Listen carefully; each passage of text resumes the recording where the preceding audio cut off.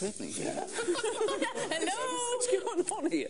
Uh, anyway, listen, uh, we've all done it, haven't we? we, we we've woken up in the morning, uh, gone to work, gone to work, and thought, this this isn't where I want to be. God, have I had that feeling? eh? Have I, or have I had that feeling? Can you snap in? But how, how many people really quit a job, a nice, safe, stable job? Especially when the job you have pays a very tidy salary, would you quit to take on a job paying the minimum wage instead?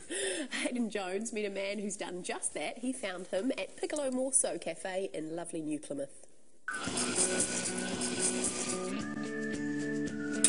Mornings go real fast because it's just pumping out coffees. Dave Grant doesn't have a lot of time to ponder his recent life changing decision. Um, I'll probably give that an 8 out of 10. He's a barista. I wasn't sure if I was going for the fern or the heart. It's probably like a tulip. I'm definitely not a coffee snob, I can tell when it's a bad one. A wee while ago, Dave was a doctor drinking a coffee with another doctor and dreaming about a career change. We just started talking about how it'd be quite cool to learn how to make really good coffee because it's quite a good skill to have. Well, Dave did it. He quit medicine and a nearly six figure salary to make coffee. I thought it'd be a good challenge to try and like be a bit more wise with my money. His parents were stunned, but understand. They said all the right things, and I believe them. I think they're fine. Dave's ex colleagues now trek across town curious to see how he's getting on. Uh, I think it takes a lot of courage and it's inspiring. So, I think a lot of them wish that they could do the same thing. Greg's a doctor too. He also tried to change careers. He was too tall. I've always actually dreamed of um, being an astronaut, um, but I think I was actually um, I passed the height requirement or something like that when I emailed NASA about it. So It actually wasn't easy for Dave to become a barista. He got turned down. Lots. His ego took a hammering. It was real humbling. I was calling my sister and my family for support every day, emotional support. I think I went to about 15 cafes before I got this one here. Lou Smith eventually took him on. He's amazing with customers. He really um, interacts with them and draws them in. You go. Dave's regulars have become friends, even if they do try and sneak the odd medical question. I came in here with a um, pretty sore leg a few weeks ago, so I get a few tips on the side with my coffee.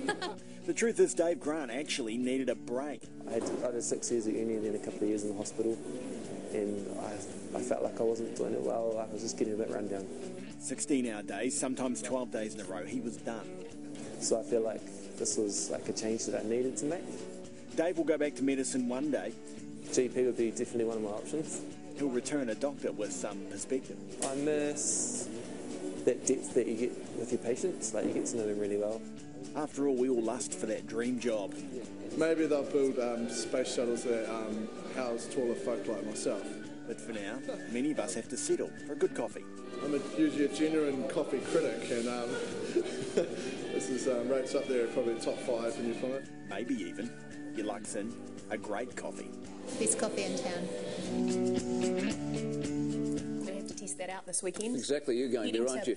You? You're going to be doing, what are you doing? You're doing some coffee now? You're going to be a barista? What are you up to now? Well, you joke, but actually, that- since I since I annou- announced earlier this week that I was leaving the show, I've sort of been looking at other people's jobs and thinking, hmm. You're liking those? What would you do if you could do anything, Do Jesse? No, I was looking at those rubbish men come past this week, and I was thinking, gee, they'd keep fit, wouldn't they? Exactly. It's good it's Oh, good so you're gonna, go, hours. you're gonna hit the gym and get all buff, Yeah. and then who knows? Yeah, no. Well, it's, I've got to quite enjoying, uh, looking forward to just not having to think about it for a while. I think Mm. that's part of the fun and probably part of what attracted that guy to being a barista as well. You know, just turn your brain off for a little There bit. is something. There is something wrong with that, though. though. I mean, you know how hard it is to get into med school, and you know, and then suddenly you throw it all away. Six years of study. Six years But of study to go learn make a few from Mike King's mochachinos. story earlier. Yeah, that's true. You can have all this Yeah, money, be doing lots of stuff, and just not be happy. Sorry, viewers were too deep. That's too deep for a Friday. Sorry, probably.